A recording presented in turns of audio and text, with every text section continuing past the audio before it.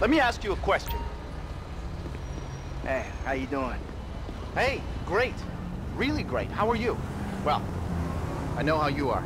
Do ya? Yes, it's obvious. It's really obvious.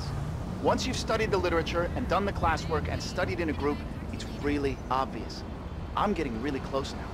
Close to everything. And you, well, you're still lost. You live in the happiest place in the world, and yet you feel like life is passing you by?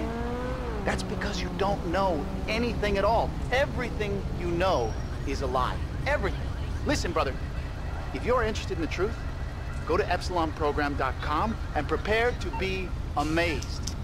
Remember, the tract has not yet been written. Okay. Hey, live with your doubts, brother, brother. I'm happy with my certainties.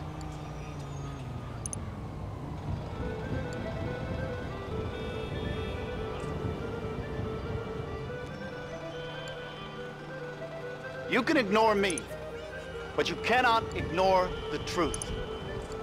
The truth is that dinosaurs are a lie that people believe because they are too weak. The world is only 157 years old. We are all descended from the same tree. Find out more at EpsilonProgram.com. Kifflom.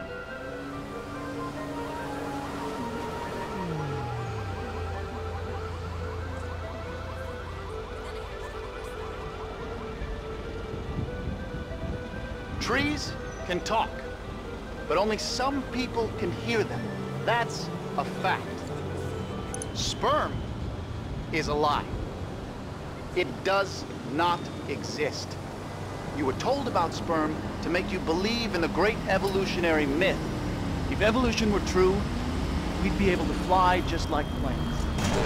Oh, fuck me! Oh, fuck!